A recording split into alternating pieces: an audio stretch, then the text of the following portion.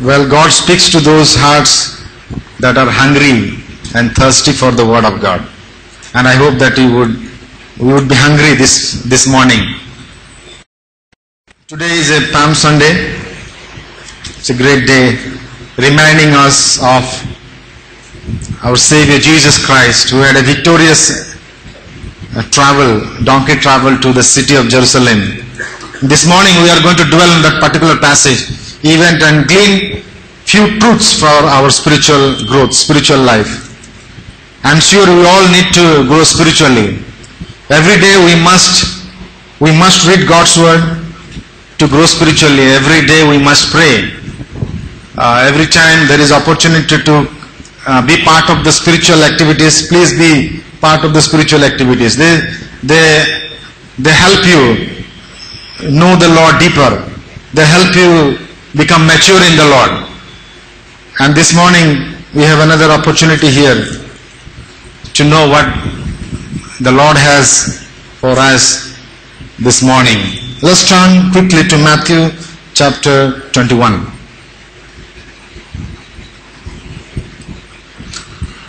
This is a Palm Sunday, this is also called a Passion Sunday.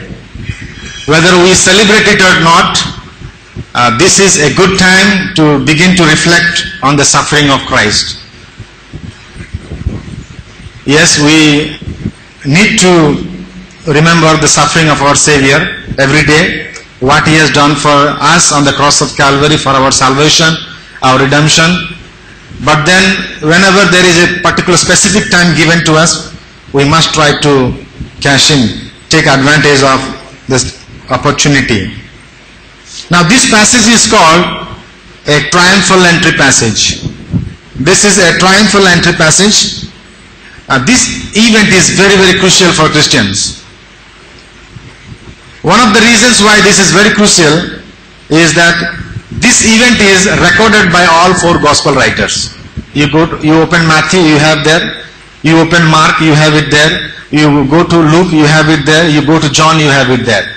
All four of them have tried to record this particular event. And that goes to show that this particular event is the key, very important for each one of us.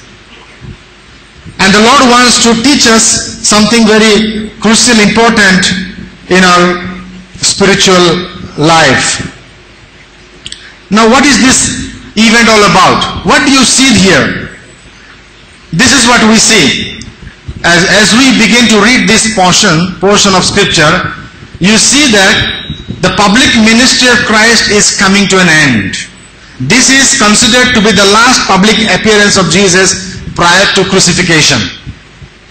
And that's the important thing about this particular passage. So Jesus along with his disciples, they are marching towards Jerusalem. They are on the way to Jerusalem and they have come all the way to Bethphage and then particularly they are at Mount of Olives. That's the place where they are. And that is where the triumphal entry begins. And so what happens there? Jesus sends two of his disciples, two disciples as the Bible says, telling them, go into a village nearby. As you enter the village, immediately at once right away you will find a donkey and a, and a colt. Now here, as, as far as Matthew's record of this event is concerned, there seems to be a contradiction between his record and the record of the rest of the gospel writers. Matthew mentions about a donkey and a colt, whereas the other three mention about only the colt. So a lot of people think, a lot of Bible readers, Bible scholars think that, well, this is a discrepancy that is there. There is a contradiction. And what do you do with this? Well, deliberately I have picked Matthew as the main text because he is addressing, he is writing to the Jewish people in particular. So as you know, the Jewish people are very meticulous. They are very particular about things the way they dress, the way they look, the way they stand, the way they sit, the way they pray, uh, the way uh, they articulate, everything that they do, they are very particular about. And so, Matthew, writing to the Jew, and whenever he writes, he wants to make sure that he is 100% accurate. that he does not miss anything, any facts here and there. He wants to make sure that he's spot on, he's bang on, he's on target. And that's what he does. Because this event was prophesied 500 years back by one of the prophets of God by name Zechariah. Zechariah chapter 9 verse 9 we find the same event prophesied there. And Matthew quoting it from Zechariah's prophecy and he wants to make sure that he does not contradict with Zechariah. Because if he contradicts with Zechariah, then the Jewish people will start questioning, hey, what kind of record is this? There are some elements missing and they will start questioning. So keeping the audience in view, he, he is being very accurate in his portrayal, in his record of the event. Now, the others, for them, accuracy was not important. The message was very important. And that's the difference you find between Matthew's record of the event and the, the rest of the three gospel writers. Now, we can look at this passage from different angle, different perspective. You must have heard sermons after sermon on this particular passage. You can look at this passage from uh, disciples' point of view, their role there being played. You can look at this passage from uh, donkey's perspective, the role of donkey there. You can look at this passage from Jesus' perspective, the uh, perspective of a prophet. You can look at this passage from uh, the great multitude that is there in the passage in that event. So we have many ways to look at this passage and learn important truths in our lives. This morning I'm not going to have any particular approach to this, but I'm going to take you through this particular event in a very general way and present to you three things. Three things, three truths that we can glean from this passage for our spiritual growth. Number one, Three spiritual truths we can glean from this, from Palm Sunday. The first truth, the first lesson that we learn from here is that we are all indispensable in the plan and purpose of God. We are all indispensable in the plan and purpose of God. Now, why do I say that? Look at what happens here.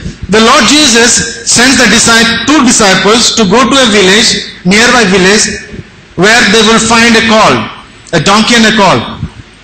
And they will find them tied. They have to untie them and bring them to the Lord for Lord's use. What do you see here? The Lord says, verse number um, 3 And if anyone says anything to you, you shall say, The Lord has need of them, and immediately they will send them. Let's focus on donkey for a moment. Have you ever thought about donkey in your life? Definitely not. We don't think about donkey. We don't think about, you know, domesticating a donkey. Whereas we think about, you know, domesticating puppies, uh, doggies, uh, things like that. But never a donkey. But in this situation, you find Jesus is particularly looking at the donkey because donkeys are least preferred in this world. That is what the Lord needed. They are considered in this world unimportant. They are not loved. They are not liked. They are not preferred. They are not treasured. They are not valued. It is the least of all animals that you can ever think of. But you come to this passage, you see, Jesus is considering something that is not valued by the worldly standard. You and I may not put any value, any price on this donkey. But Jesus is putting a lot of value, a lot of price on this donkey and he says that I need that particular donkey for my use. Everything that is created by God is indispensable to God. There is nothing that you see around us which is devalued by God, which is despised by God, and donkey is a case in point here. Now if you look little carefully, judiciously, then you will find that this donkey is pretty much representative of the life of believer prior to their salvation. Interesting. What men sees useless, what men sees unimportant, what men sees valueless, God sees valuable. God sees its importance. God gives value to it. Now, what was the situation of the donkey there? They were tired. The donkeys were tired. And they had to be untied by the disciples. Now, that was our situation prior to salvation. Bible says that we were once dead in our trespasses and sin. Ephesians chapter 2, verses 1 and 2. Have you ever thought about your life prior to salvation? Before you came, before you accepted Jesus as your Savior and Lord? Once you've accepted, you forget about our past. You never try to remember what had happened to us, what kind of conditions we were in, spiritual conditions. Bible says we were dead in our trespasses and sin. Psalm 40 verse 2 says we were we he bought us out of the pit of destruction. Psalm 40 verse 2. That was our condition. We were sinking in the miry clay of sin. We were sinking in sin. We were helpless. There was nobody to look at us. There was nobody to, you know, rescue us. We were alien. Bible says we were alien. We were far away from God. We were godless. We did not know what was the truth. That was our situation. We were in the bondage of sin. Under the power of sin. And that is the time God remembered us, Bible says. He remembered us while we were yet sinners. We were useless people. We were far away from God. And that is where God remembered us. Friends, we are all indispensable to God. We are all indispensable to God. Sometimes we feel that I am unimportant. I am not loved by anybody. Nobody prefers me. I don't belong to the front pew. I don't belong to the mainstream. Nobody thinks about me. And that's what a lot of young people think like that. They try to develop that inferior complex. Will God ever use me? Does God love me? Does God care for me? Am I in the scheme of things of God? Am I in the plan of God? Does have a does God have any plan and purpose for my life? Something that the world never considered. Something the, the world never even used. That is the kind of thing our Lord Jesus made use of it. He made nobody somebody. Someone who, something that was obs- completely obscure now has come to light and everybody celebrate that great event. God made that donkey very special because he used donkey for a special purpose. My friends, we are indeed indispensable in the plan of God. We are all valuable. We are all vital to God. Would you tell to your neighbor, you are precious to God? Please tell your neighbor, you are precious to God. I don't have any neighbor. You are precious to God. You are valuable to God. Yes, my friend, we are precious to God. We are valuable. Never ever disrespect yourself. Don't have self-pity. He wants to use us as his instrument in his kingdom. We are all co-laborers with God. 1 Corinthians chapter 3 verse 9 says, we are co-laborers with God. We are very much needed in the plan of God.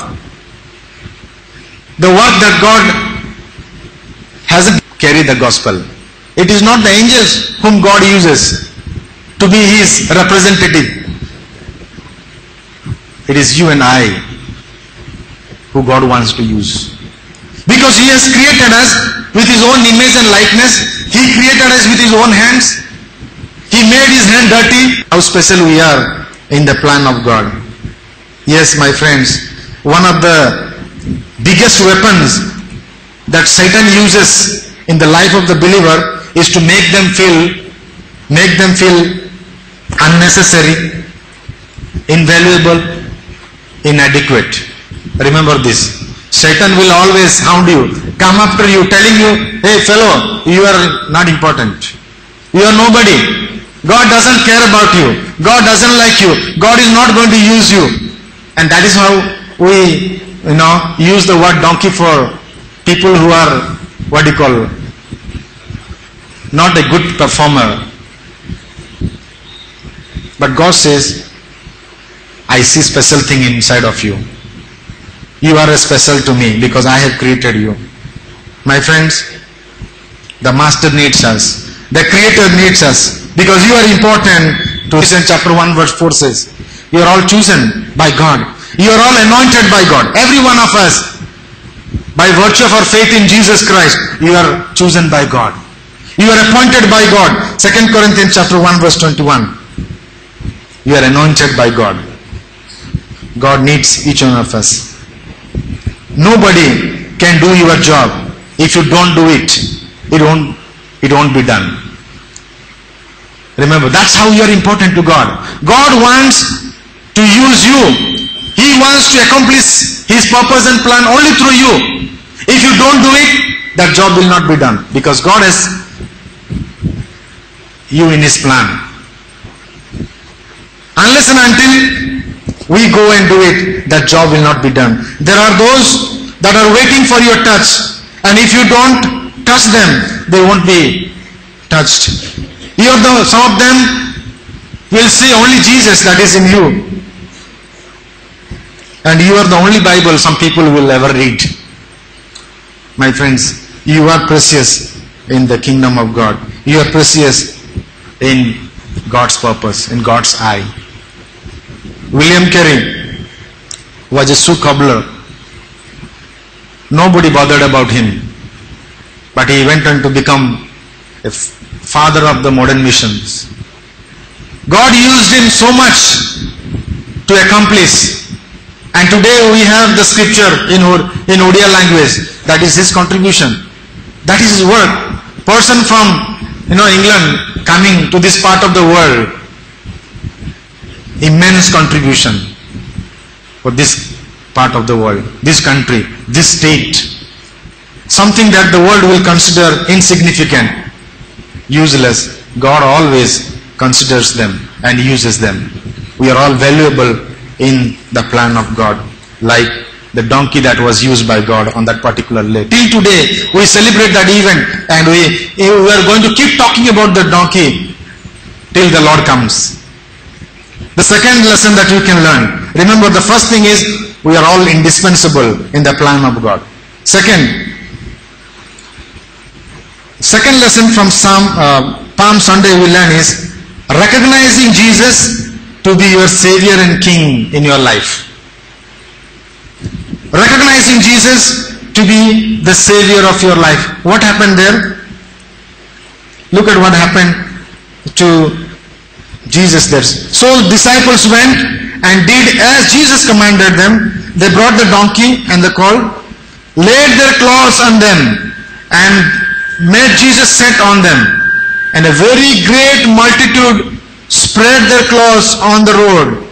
Others cut down branches from the tree, spread them on the road, and then multitudes went before him and followed him, and saying, Hosanna to the son of David. Hosanna simply means the prayer, save us, save us, Jesus save us.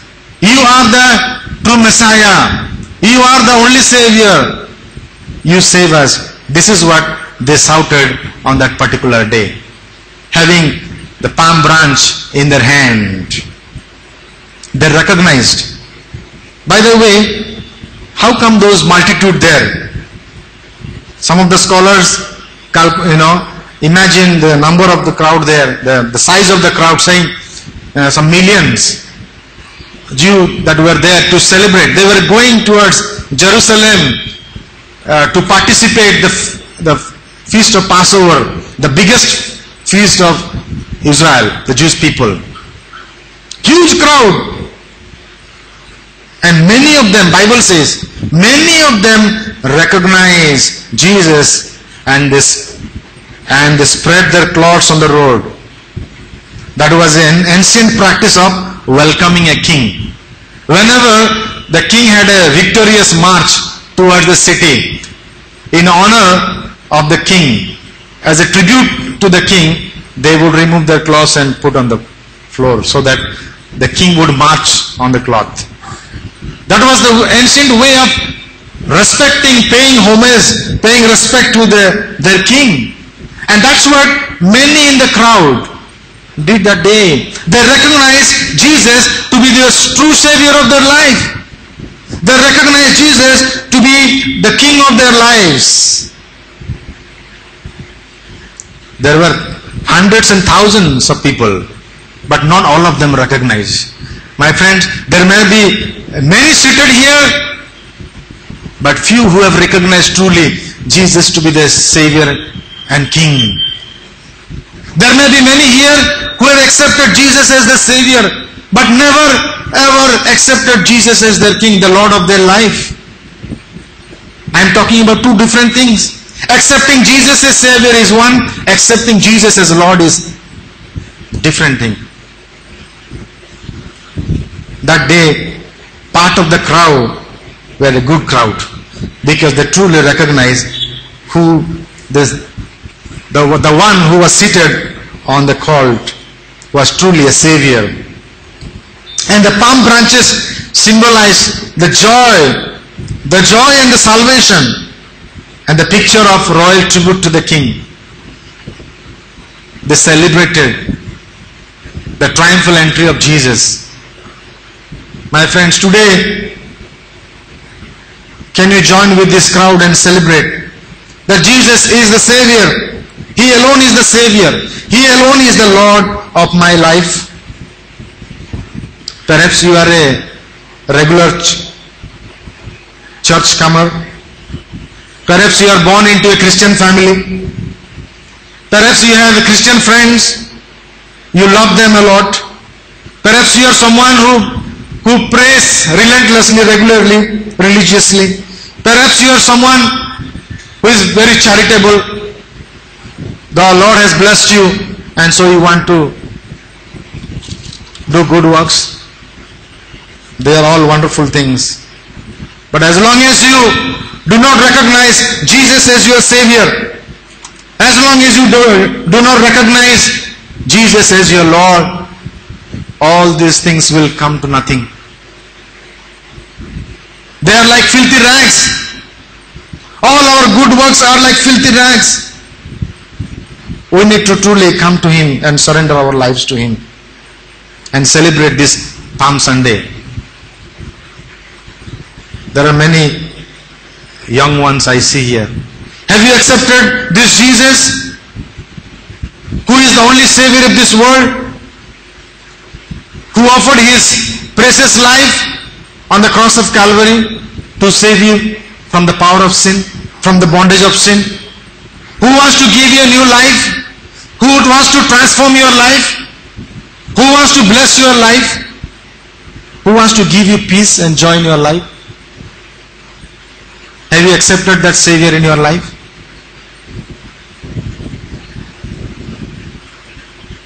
There may be many here who have accepted Jesus as Savior. But my question is, have you surrendered your life completely to the Lordship of our Savior Jesus Christ? Who is the Master of your life? Who is the Lord of your life? Many times we behave, we do things as if we are the Lord of our lives. We decide things on our own. We make plan for our own. But that is not a surrendered life. Recognizing Jesus as Savior as well as a King. Is he the King of your life? Is he ruling your life or you are ruling your own life? Have you given yourself completely to the Lord? Or is there any areas of your life that is still being under your control? You don't want to give it up to Jesus. You don't want to say, Jesus, here I am, I give my complete self to you. You have complete authority over my life. You decide my ways. You decide my plan. You may choke out my plan. I would only surrender myself to you. That's the kind of life Jesus expects from each one of us, every Christian, every believer in the Lord. That we live a surrendered life. That we accept Jesus and His Lordship in our life. As long as you don't accept Jesus as your Lord, you can never be a true disciple of our Lord. You will compromise left and right. For everything you are going to compromise. You are not going to live a serious Christian life. You are going to live a wishy-washy life. Now wishy-washy life is casual life. There won't be any fruit. There won't be any charm. There won't be any joy. The joy of salvation will not be there in your life.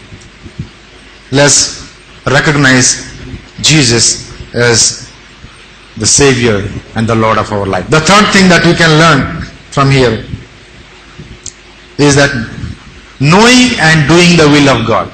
Knowing and doing the will of God. Matthew chapter 21, verse number 4.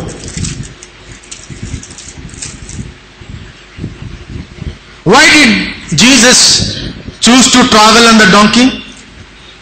Why did he do that? Was it by it was it an accident? Did it happen by chance? No, it did not happen by chance. It was all the plan of God. Look at verse 4. All this was done that it might be fulfilled which was spoken by the prophet. Jesus did not travel on the donkey to the city of Jerusalem by chance. It was not an ad hoc decision by Jesus Christ. He was very much conscious of God's plan in his life. That's what I wanted to say. Jesus was very much conscious about God's will, God's purpose in his life.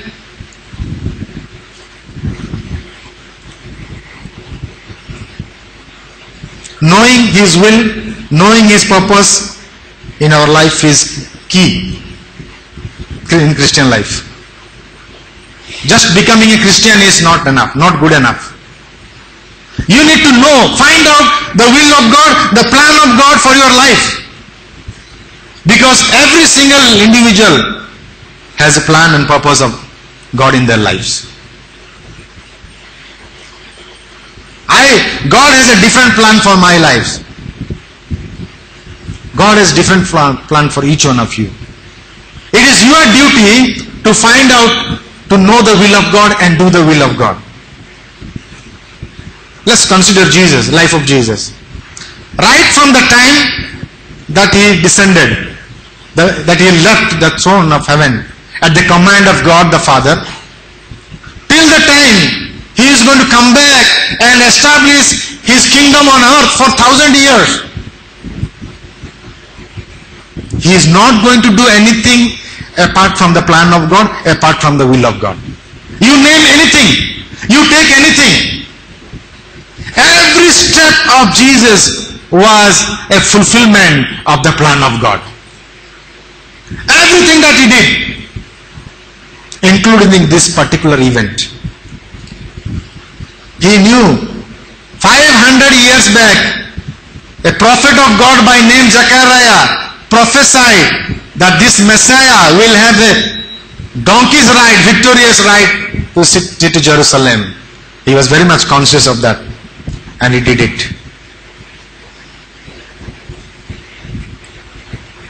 John chapter 4 verse 34 says, Jesus said, let's read that.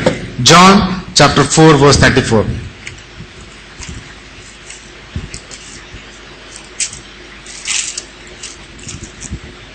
Jesus said to them, My food is to do the will of him who sent me and to finish his work.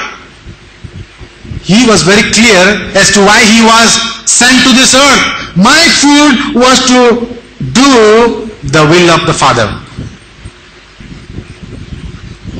My friends, we need to find out the will of the Father for us. What is the plan of the Lord for my life? I want to know it. Just as Jesus. John chapter 5 verse 30. Just flip two pages and you will get there. 530. I can of myself do nothing. As I hear, I judge. And my judgment is righteous. Because I do not seek my own will, but the will of the Father who sent me. Throughout the life of Jesus Christ, He never ever tried to fulfill His own agenda, His own plan. Always, throughout His life, tried to fulfill the plan and purpose of God.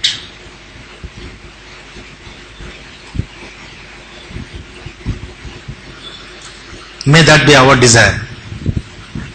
Knowing the will of God and fulfilling the will of God.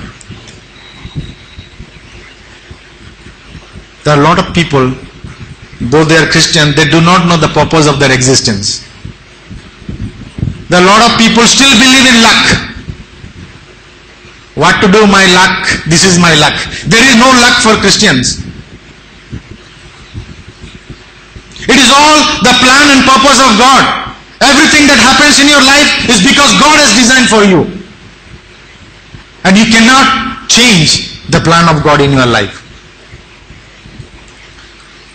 You and I got to know the very purpose of our existence. And we all know there is a universal purpose. God created us in His own image and likeness, and He expects us to be His worthy representative of this world, in this universe. That is true for everybody. But there is also a specific will that God has designed for each one of our lives. Apart from glorifying Him, loving Him, serving Him, witnessing for Him. As a good Christian, it is vital for us to recognize God's will and plan for our life. Knowing Him is not enough. Knowing His will and fulfilling them is very important. Ecclesiastes chapter 12. Let's go to Old Testament. The book after Proverbs.